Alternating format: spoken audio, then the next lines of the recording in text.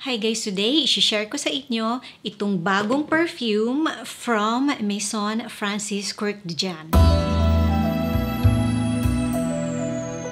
So this is the Apom 2024. Meron nang lumabas before na pang babae nito and merong pang lalaki. So etong bagong release nila, this is parang ginawa niyang unisex, parang pinaghalo niya yung dalawa. Wala na kayong mabibili na Apom na pang babae or Apom na pang lalaki kasi matagal na yatang na-discontinued yun, nag-stop na sila ng production nun. And Apom, parang this year, may meaning na yung Apom. It means another part of me. And it makes sense kasi yung magiging amoy niya, basically, parang ano eh, para siyang, hindi ko naman masabing intimate, pero parang ganun na din. Parang skin scent siya almost. Pero tignan natin itong notes ko para hindi tayo masyadong matagalan. So, sabi ko nga, unisex na siya and this is de Parfum. Sabi sa akin sa uh, store, ang de Parfum yata before is yung apom na pambabae, pero yung apom na panglalaki, de Toilette yata yon. So, sa initial na spray, very soft na fresh na floral. Ang weird kasi sa store, nung naamoy ko yung sample, yung tester nito, meron akong naamoy sa kanya na parang soft na citrus. Pero wala siya dito sa bottle ko nung uh, tinitest ko. Kalpa lang itong pabango na to, para siyang sabon na floral. Malinis. Sabi ko nga, nung nasa store ako ha, pinag-uusapan namin to, amoy carpet siya ng lobby or room ng high-end na hotel. At least sa initial na spray. May ganun siyang dating. Maski din siya pero malinis yung pagka-mask niya. All throughout actually, andun yung mask niya na aamoy ko sa kanya. So para siyang meron mask na base. Kung fan kayo at sanay kayo sa Aqua Celestia, Aqua Universalis, maninibago kayo dito kasi smooth lang siya na medyo quiet. Yung dalawa kasi super fresh and uplifting. This is simple, fresh, floral, and soapy. Yung ilang-ilang niya after 5 minutes parang medyo magiging screechy din. Pero baka siguro kaya ako naaamoy yon yung parang screechy na ilang-ilang. Dinidikit ko yung ilong ko masyado sa skin ko kaya parang siguro amoy na amoy ko lahat. Kasi mawawala din naman siya. Parang saglit lang siya. And then after 10 minutes medyo tatamis na siya. Kasi sa top notes nito merong amber. And then sa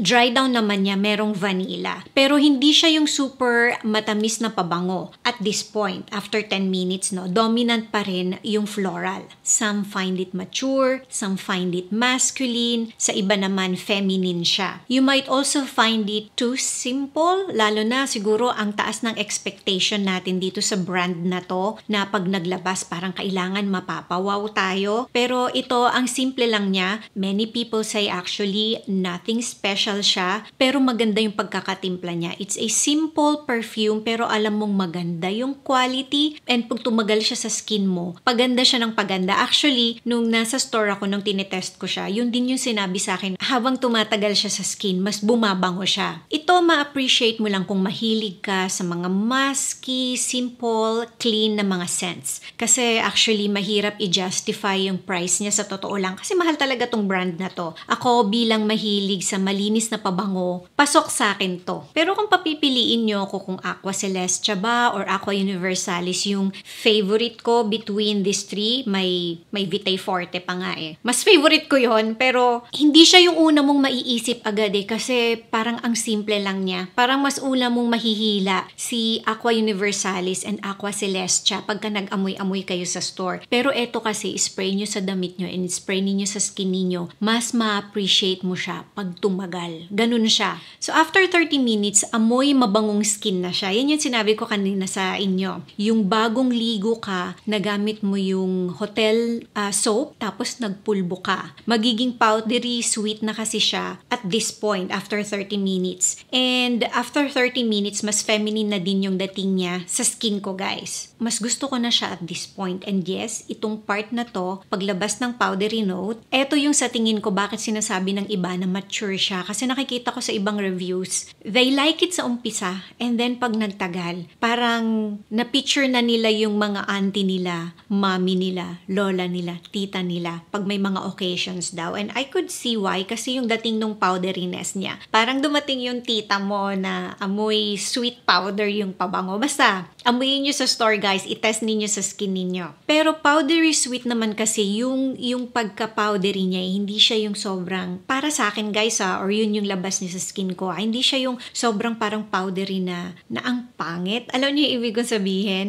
May pagka slightly spicy din siya, pero hindi mo siya masyadong maaamoy unless hahanapin mo kasi mas lamang yung powderiness and yung sweetness nung vanilla. Pero kung takot kayo sa mga vanilla perfumes, sa akin na hindi siya ganun ka-vanilla na vanilla if that makes sense. Matamis siya pero hindi siya baduy na vanilla. Maganda yung pagkakablend niya dun sa yung powdery na note. This is good for everyday. Actually, pang easy reach siya na pabango. Bagay siya sa mga healthcare professionals, sa mga mahilig sa kalma, comforting na pabango. Medyo naaamoy ko nga sa kanya si Chanel number no. 5 na low. Kasi may pagka hindi modern yung amoy niya guys eh. Medyo parang old school pero hindi naman siya yung lumang-luma. Actually, mas parang old school pa nga yung lelabo na ilang, ilang 49 ba yun? Mas parang old school pa nga yun compared dito eh. Pero hindi rin siya modern. Sabihin mo nang may pagka-retro yung dating niya kasi hindi ko naman masabing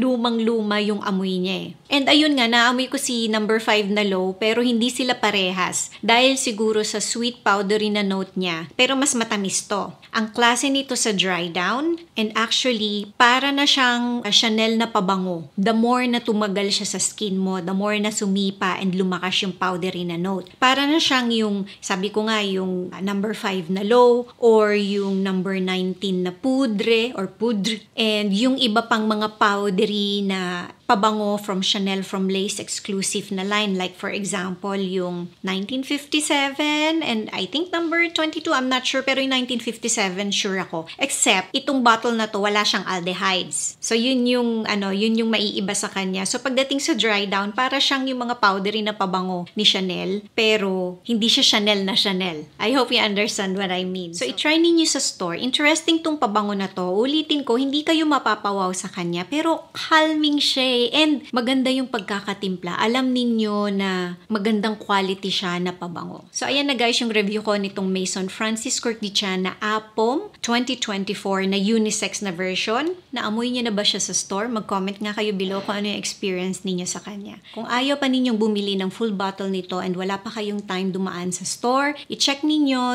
yung Shopee na store ko sa description box below for samples and available na siya doon. Thank you for watching and see you again on my next video. Bye!